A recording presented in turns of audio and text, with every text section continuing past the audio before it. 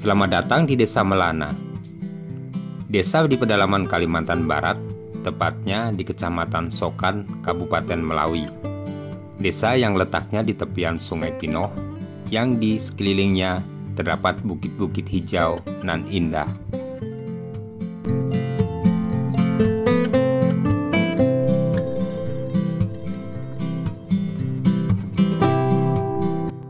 Udaranya masih segar dan sejuk karena masih banyaknya pepohonan, hutan, dan letaknya di area perbukitan.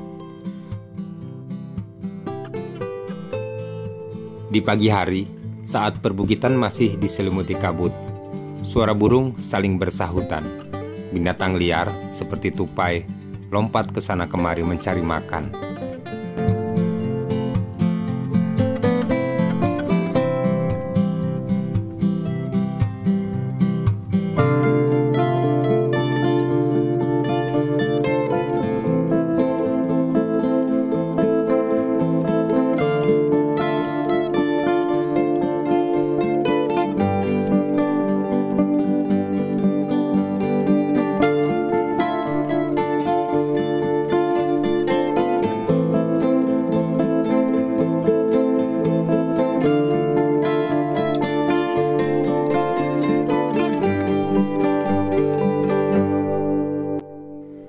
Saat mentari muncul dari ufuk timur, alam terlihat berwarna hijau keemasan, dan pemandangan indah terlihat lebih nyata dari udara. Ini saya akan keliling-keliling menyusuri jalanan dan pemukiman di Desa Melana, Kecamatan Sokan. Di sebelah kiri saya terdapat suara, itu suara somil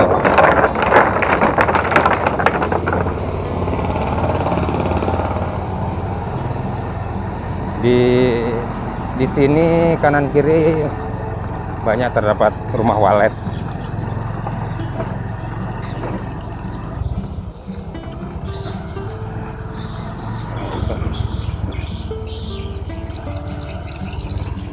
Banyak sekali rumah-rumah walet di sini. Kanan kiri saya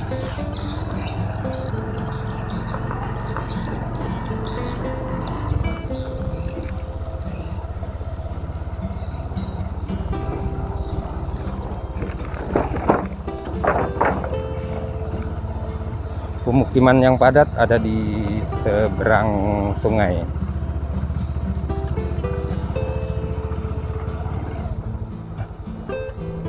Jalanannya seperti ini, Jay. Banyak genangan air. Oh, no.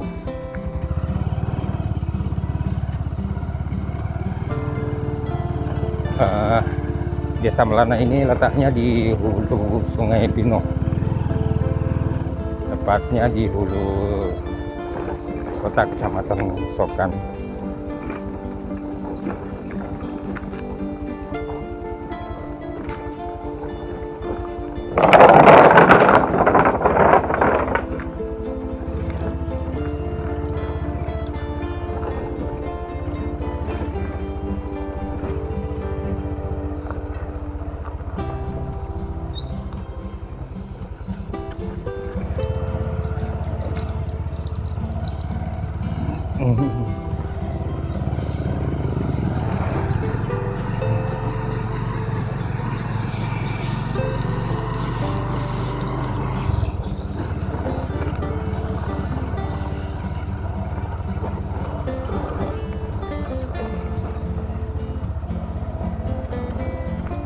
Di sini banyak sekali terdapat rumah-rumah burung walet.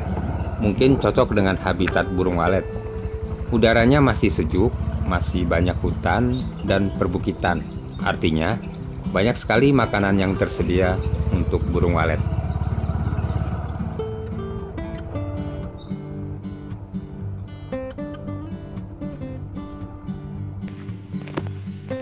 Ini pintu gerbang menuju ke Desa Melana yang di seberang sana, yang merupakan juga pusat pemerintahan Desa Melana.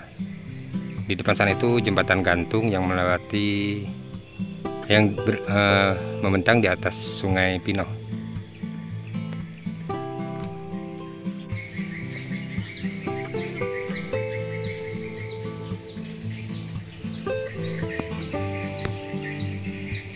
Sungai Pinoh, hulu Sungai Pinoh. Ini sungainya.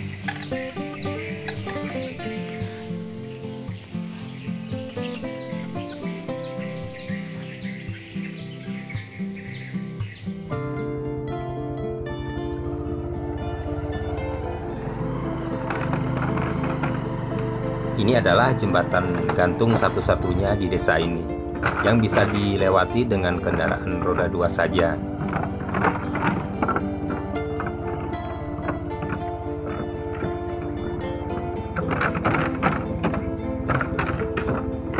Depan saya ada rumah walet dengan halaman rumput hijau yang luas, yang juga sebagai tempat mengikat sapi atau ternak warga.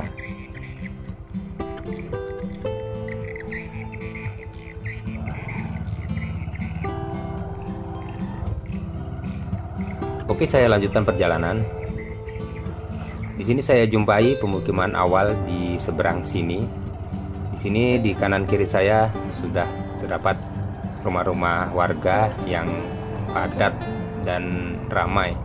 Jalannya sudah aspal, sudah mulus, yang lebarnya hanya kurang lebih 2 meter saja.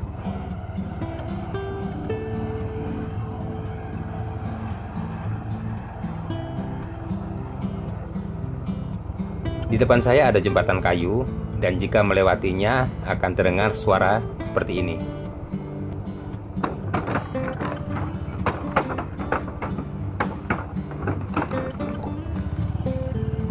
Mirip kereta api yang sedang melintas.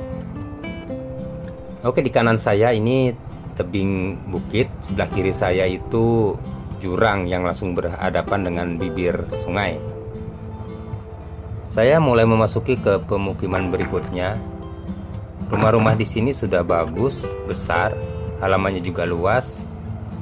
Sudah juga ada tanaman hijaunya di halaman. Jalannya sama, jalan aspal, mulus, yang lebarnya kurang lebih hanya 2 meter saja.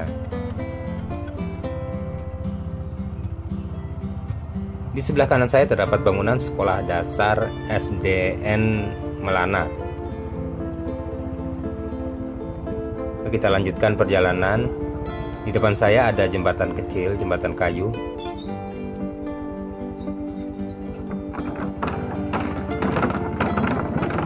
Oke, di depan saya ada pertigaan, jalan yang bercabang. Yang kiri itu ke pemukiman warga, yang sebelah kanan ini saya akan menuju ke uh, kantor desa Melana.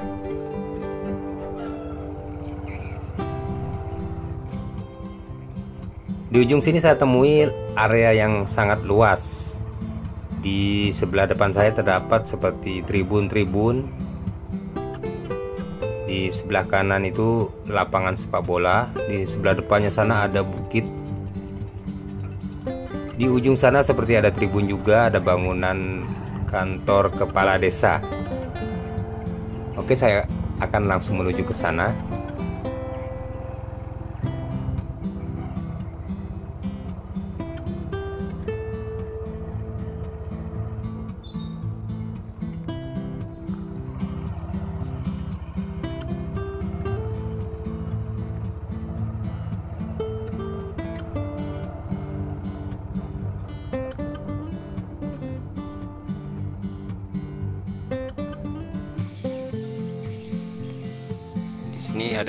Stadion Batu Temenggung Desa Melana. Ini tribunnya, sebelahnya itu kantor desa kantor de, eh, kantor kepala desa Melana. Sebelah kanannya itu seperti ada TK. Nah, yang sebelahnya itu lapangan luas. Di sana ada gedung terbuka seni budaya masyarakat Kriam Sebelimbing. Nah, di situ tuh sebelahnya itu ada Stadion Volleyball Desa Melana.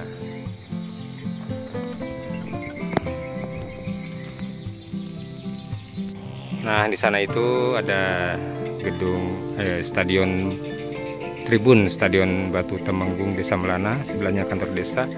Ini juga ada tribun. Di sini ada Stadion Volleyball Riam Jongkat Desa Melana. Nah, ini stadionnya. Sementara belum dipakai untuk nyemur padi warga. Nah, ini ada tribunnya.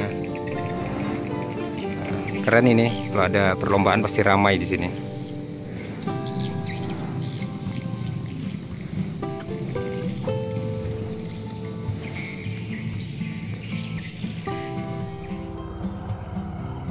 Saya lanjutkan perjalanan melewati gang sempit di samping rumah warga saya akan berbelok ke kanan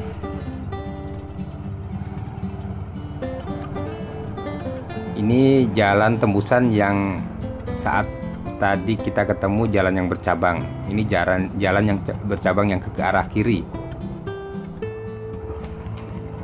Di sini pemukimannya padat, rumahnya saling berhimpitan. Di sebelah kiri itu Sungai Pino. Jadi di belakang rumah warga itu Sungai Pino.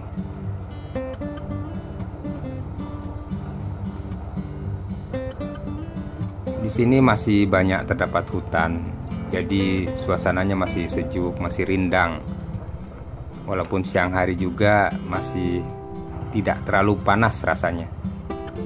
Oke, jalan nan sudah mentok ya, tidak ada pemukiman lagi setelah rumah-rumah ini. Saya akan balik kanan saja. Sekarang hari sudah menjelang sore, sudah pukul setengah empat sore.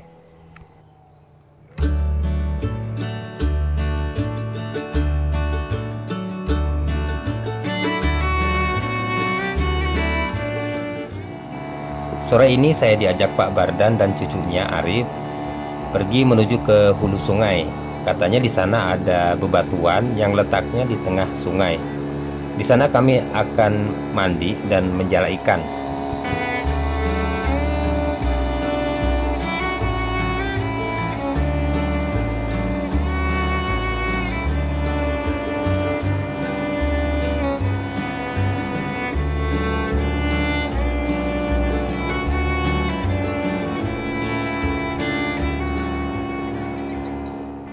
Sekarang kami sudah sampai. Di sini terdapat bebatuan yang berada di tengah sungai. Di sinilah kami akan mandi dan menjala ikan.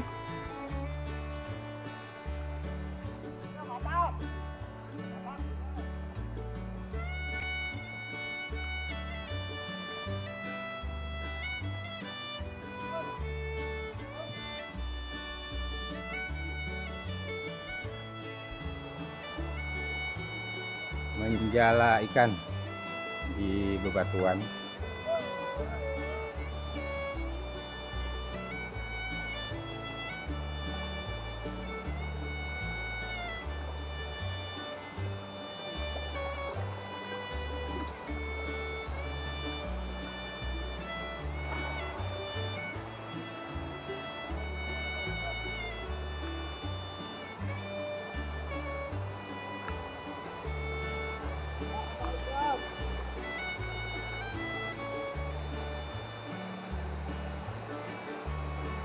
Pak, nyangkut ya?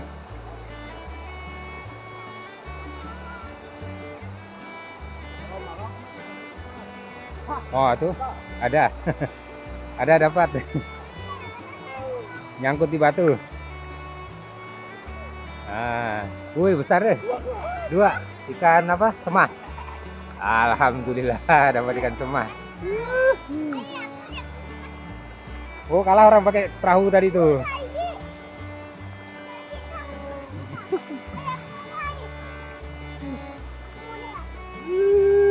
Ikan sematu lauk makan malam. ikan bata. Uh. Oh dia di air deras itu ya? Jangan itu itu. Oh. Ikan Oh, ikan semah namanya. Apa? Kalau bahasa lain apa? Ikan bulat kami bilang sini. Oh, ikan bulat. Ini kungkup. Oh, beda kah? Beda. Oh, beda. Kalau orang di sana bilang ikan semah ya. Kalau semah lain. Kalau lain nggak? Uh, besar ini. Eh, dibunuh aja. Oh, ini tapi banyak duri ya? Enggak bisa ini. Kita juga ya. Bunuh. Lah, Wis. Ih, ada darah. Sekali tebar dapat dua ekor. Ya. Mantap. Oh, Dapat lagi. Itu kan. Dapat dapat banyak lumayan nih untuk lauk malam. Adalah rezeki main ke main ke Melana. Makan ikan segar, ikan sungai. Tuh, dua ekor sekali lempar ya. Besar ini. Tuh. sele- empat jari lebarnya. Yuk, kita tebar lagi jalannya. Ah, salah mereka ke sini. Kalau di situ suka dapat besar nggak? Hmm. Kalau yang air deras terlalu deras enggak ya? Kalau dekat yang dengan sana amat, itu bisa semua. Eh, Semua itu suka dia yang yang kayak itu. Yang ngacam-ngacam suka lah dia. Tapi dapat ikan pun. Tak mati. mantap. Alhamdulillah. Alhamdulillah. Kita ikuti kegiatannya Pak Wardan. Nah, melempar jala di sungai ini, sungai Batu ya. Tuh. Di sini sungainya arusnya deras. Sungai Batu seperti ini. Di sini banyak ikan orang sini bilang bulat, tapi kalau orang Ili bilang ikan semah. Nah, kita lihat ke sana.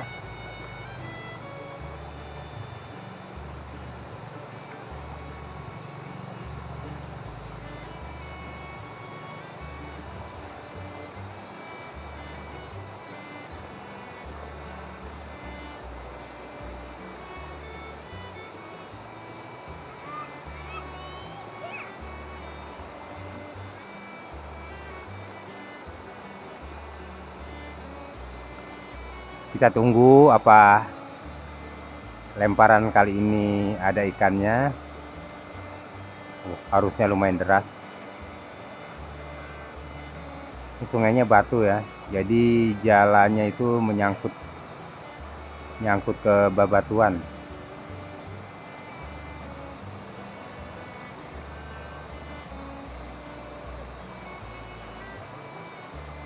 Kali ini zong.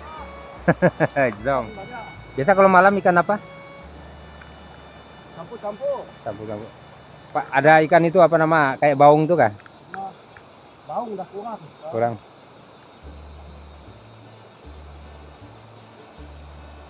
Uh, mudah-mudahan tebaran kali ini dapat lagi. Oh, airnya kurang dalam ya?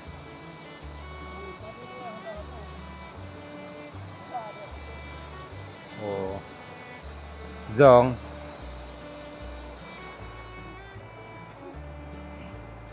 Di sini airnya dingin.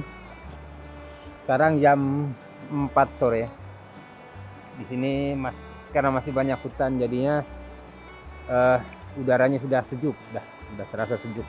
Dibanding di kota itu yang jarang pepohonan jadi walaupun sudah sore pun masih terasa panas.